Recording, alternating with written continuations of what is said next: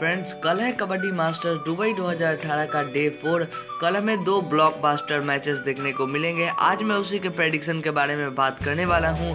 तो आपको क्या करना है? बस शुरू से लेकर अंत तक इस वीडियो को देखते रहना है।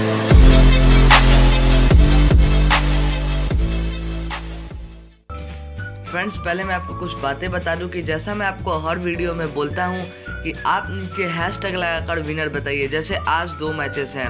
तो लिखिए hashtag Iran versus Korea और अपना विनर बताइए। लिखिए hashtag India versus Pakistan और अपना विनर बताइए। और अगर आपका दोनों प्रेडिक्शन सही हो जाता है तो मैं अगली वीडियो में आपका नाम लूँगा, आपका कॉमेंट दिखाऊँगा। तो बात कर लेते हैं डे टू के विनर्स के बारे में। डे वन के बारे में मैं पहले ही आपको दिखा चुका हूँ विनर्स को। तो अब हम बात कर लेते हैं डे टू के विनर्स के बारे तो में। यार पहले तो आप जाके जल्दी से जल्दी कमेंट करो ताकि मैं आपका कमेंट पिक कर पाऊँ क्योंकि मैं ऊपर के तीन ही कमेंट पिक करता हूँ।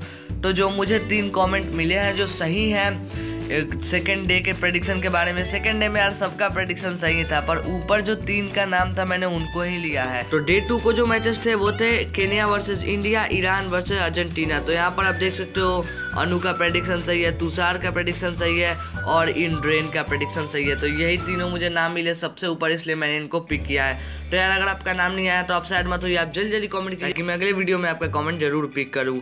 और फ्रेंड्स यहाँ पर ऊपर आई बटन पर क्लिक कीजिए, मैंने फिर से दो पुल क्रिएट किया है। पहला मैच जो होगा मतलब पहला पुल जो होगा, वहाँ पर मैंने क्रिएट किया है who will won first match option दिए गए होंगे कोरिया और ईरान उसके बाद मैंने एक और पुल किया है who will won second match option दिए गए हैं इंडिया और पाकिस्तान तो दोनों पुल में वोट कर लीजिए। अब हम बात कर लेते हैं मैच के बारे में। तो पहला मैच हमें देखने को मिलेगा कोरिया और ईरान के बीच। तो पिछले बार जब कोरिया और ईरान के बीच हुआ था, पहला दिन जो, पहला ही दिन मैच था, वो दूसरा मैच था, नौ बजे से हुआ था। पर इस बार ये हमें आठ बजे से देखने को मिलेगा। ये तो मुझे इस बार लगता है जो टीम जीतेगी, पिछले बार ईरान जीती थी और मैंने ईरान को ही पिक किया था और ईरान ने मेरा प्रडिक्शन सही करवाया था। तो इस बार भी मुझे लगता है ईरान ही जीतने वाली है। मैं ईरान के साथ ही जाना चाहता हूँ। मैं 55 परसेंट ईरान को देना चाहता हूँ और 45 परसेंट कोरिया को देना चाहता हूँ। ईरान बहुत अच्छी टीम लग रही है मुझे, फजल, अबूजर, मिराज मकसूदलू के ना होने के बावजूद।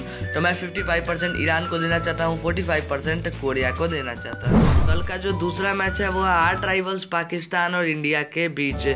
जैसा आप देख रहे थे यार, आज जो कल हमें मैचेस देखने को मिले इंडिया केन्या और एक और देखने को मिला था ईरान अर्जेंटीना उसमें कितना इस मैच को प्रमोट किया जा रहा था बार बार बोला जा रहा था, पच्चीस तारीख को आपको देखने को मिलेगा इंडिया वर्सेस पाकिस्तान इस मैच को आप समझ सकते हो कितना बड़ा मैच होने वाला है दोनों देशों के लिए।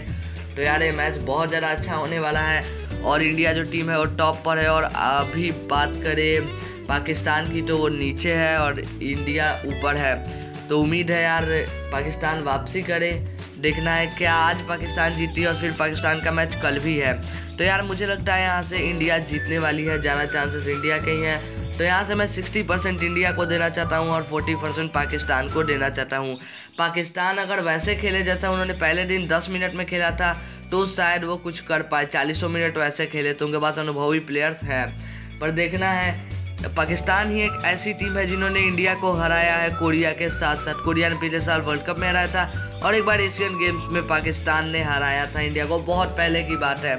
तो यार, आप अब मत सोचो कि अभी हरा सकती है। तो अभी मैं देना चाहता हूँ सिक्सटी परसेंट इंडिया को और फोर्टी परसेंट पाकिस्तान को। तो यार मैंने आपको कमेंट करने के लिए बता दिया और पुल पर वोट करने के लिए बता दिया। और अगर आपको वीडियो अच्छी लगी तो लाइक कीजिए चैनल सब्सक्राइब कीजिए बेल आइकन को बजाइए, ताकि हम जैसे अगली कबड्डी वाली वीडियो बनाए, उसकी नोटिफिकेशन आपके पास आ जाए। और आपको कुछ नहीं करना, बस अगली वीडियो के लिए वेट करना है।